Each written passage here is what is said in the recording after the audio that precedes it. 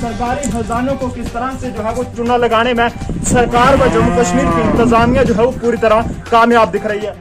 PW department से कि अगर आपका डिपार्टमेंट का ये जो डा बंगला नहीं बन रहा है तो आप और आप क्या करेंगे जो आपके डिपार्टमेंट का है?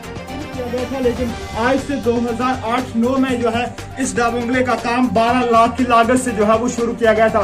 लेकिन ग्राउंड लेवल पे हालात किस तरह से बन चुके हैं तस्वीरें इस वक्त जो है वो आपको ग्राउंड ज़ीरो से दिखाई जा रही है कि किस तरह से गवर्नमेंट का पैसे का जो है वो गलत इस्तेमाल किया जा रहा है और एडमिनिस्ट्रेशन किस तरह से खामोश बनकर हाथ पे हाथ धरे बैठी है। नमस्कार नाजरीन, आप देख रहे हैं लाजवाल मैं हूँ आपके साथ नरेंद्र सिंह ठाकुर। नाजरीन, पूरे मुल्क के साथ जम्मू कश्मीर की अगर बात करें तो हमारा देश जो है वो इस वक्त तरक्की की ओर बढ़ रहा है, लेकिन ना जाने गाँव में इस तरह के दावे जो हैं वो क्यों खोखले साबित हो रहे हैं।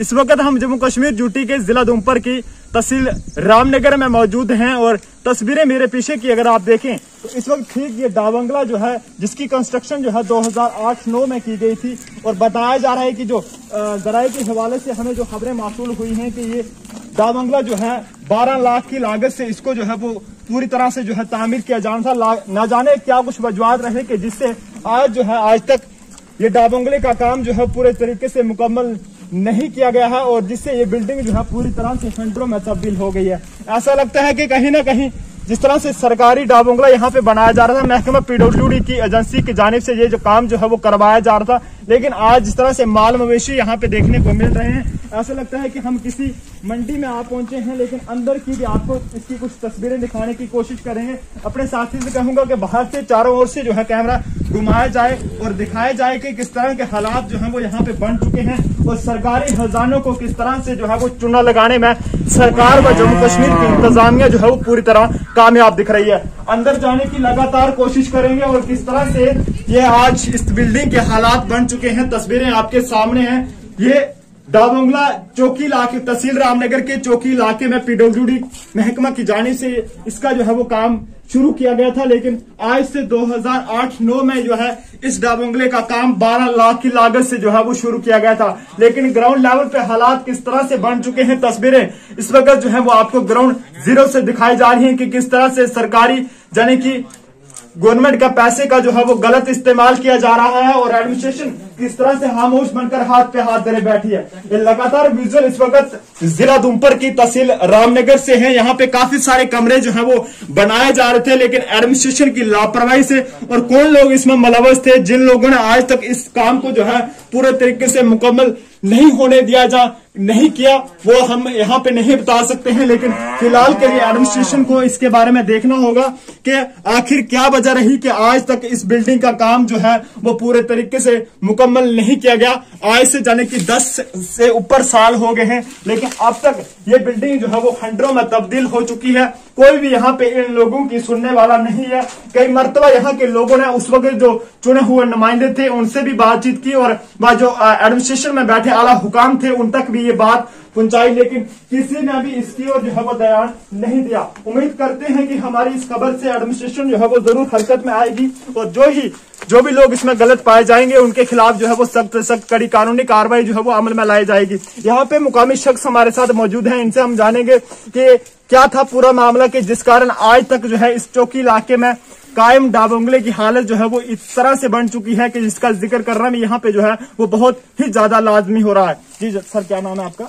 मैं चंदा सोशल वर्कर हूँ मैं शुक्रिया करता हूँ आपके चैनल का जो जी। टाइम टू टाइम आके हमारी पंचायत हमारे गाँव की जो है संभाल लेते हैं। सर मैं आपसे ही आपकी ही ज़ुबान से सुनना चाहूँगा कि, कि रामनगर के किस एरिया में जाने की किस पंचायत में इस डाबोंगले का काम जो है वो शुरू किया गया था और कब किया गया था? कितने पैसों से ये डाबोंगला जो है वो बनने जा रहा था? सर इसका काम जो है वो आठ दो हज़ार आठ नौ में ये काम लगा था। जी। और सुनने में आया है कि इसका कोई बारह लाख तक अमाउंट सेक्शन था। हम्म। पता नहीं निकला कितना है कितना नहीं निकला है। जी। एक साल पहले हमने कम्प्लेन की थी। AC hmm. साहब और एडब्ल्यू साहब पीडब्ल्यू के वो आए थे। उन्होंने हमें आश्वासन तो आया था यकीन तो आया था हम्म। कि हम इसको जल्दी से जल्दी तमीर करेंगे। लेकिन आज तक एक साल हो गया इसकी किसी ने भी कोई संभाल नहीं ली है। इसी डा बंगले का हमें एक दो जिनकी ज़मीन थी उनका नुकसान किया दूसरा गवर्नमेंट की प्रॉपर्टी का नुकसान किया। बिल्कुल और तीसरा हमारी पंचायत में जो भी ऑफिसर लोग आते हैं उनको रहने के लिए कोई जगह नहीं है। पहले सर जब डीडीसी की इलेक्शन थी तो डीएसपी साहब की ड्यूटी लगी जहाँ हमारी चौकी में। तो ऐसा जो घोडी वाले मेरे घर में आए कि चंदा ही हमें रहने के लिए जगह दे दो हमारे साहब आ रहे हैं। हम्म। तो मैंने उनको जगह दे दी। उसके बाद शाम को उन्होंने फ़ोन किया भाई थोड़ा पैदल चलना पड़ेगा। तो डीसी डीएसपी साहब को समझते हैं कि अगर डाबंगला यहाँ पे होता तो शायद ये इलाका जो है वो तरक्की की ओर बढ़ता की बढ़ता और अफसर भी यहाँ पे यानी कि तसल्ली से जो है वो आपकी खिदमत कर पाते बिल्कुल सर मैं आपको सुना रहा हूँ कि उनको पता लगा कि पैदल है तो फिर डाबंगले में राउंडर में ही ठहरे। कोई भी हमारे हबीब सर आते हैं तो इधर रहने के लिए कोई जगह नहीं हो वापस डाबंगले में चले जाते हैं या किसी के घर में खजल होते हैं। हम्म। इसलिए हमें बहुत प्रॉब्लम है इसकी मैं रिक्वेस्ट करता हूँ एक्शन साहब से पीडब्ल्यू डिपार्टमेंट से कि अगर आपका डिपार्टमेंट का ये जो डा बंगला नहीं बन रहा है तो आप और आप क्या करेंगे जो आपके डिपार्टमेंट का है, है? क्या समझते हैं चरणदास जी के एक तरफ़ हमारा देश जो है वो डिजिटल इंडिया की ओर बढ़ रहा है लेकिन यहाँ पे 2008-9 से की गई डाबंगले की कंस्ट्रक्शन को जो है अब तक मुकम्मल नहीं किया जा रहा चलिए जो आप देख रहे हैं सर अगर ऐसा ही यही हाल रहा तो फिर आप खुद यकीन कर लीजिएगा क्या हालत है हम्म। तो इससे हमारी पंचायत को कोई नुकसान है कोई अभी सर आता है उसको रहने के लिए जगह नहीं है हम्म। हम दोबारा रिक्वेस्ट करते हैं एक्शन साहब से डीसी साहब से एडब्ल्यू साहब से कि इसकी जल्दी जल्दी तमीर की जाए इसको प्लस्तर वगैरह किया जाए कंप्लीट किया जाए ताकि हमारे जो भी ऑफिसर लोग आते हैं उनको रहने के लिए कोई कठिनाई पेश ना हो। बिल्कुल नाजरीन अपने साथी से कहूँगा कि इस ओर भी जो है कैमरा घुमाया जाए। मैं समझता हूँ कि जम्मू कश्मीर के इतिहास में किसी इतिहास के किसी भी पन्ने में आपको इस तरह का जो है वो डाबोंगला देखने को नहीं मिलेगा लेकिन जम्मू कश्मीर के जिला धूमपुर की तहसील रामनगर में आते हैं तो इस तरह से आपको कई सारे जो है वो आ, जो भी सरकारी एजेंसियों की तरफ़ से काम किए गए हैं, वो इस तरह से आपको देखने को मिलेंगे। यहाँ पे बेड़े, बकरियाँ या माल मवेशी जो है, उसमें बांधे गए होंगे।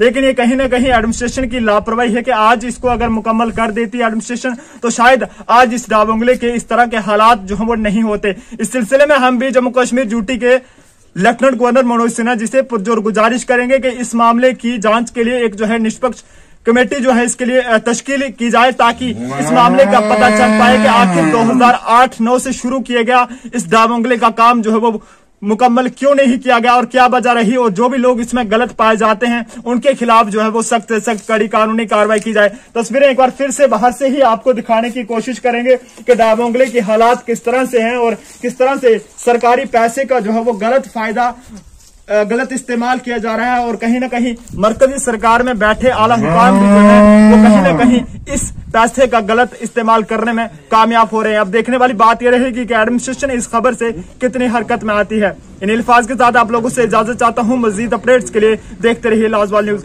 लाजवाल न्यूज़ के लिए रामनगर से नरेंद्र सिंह ठाकुर।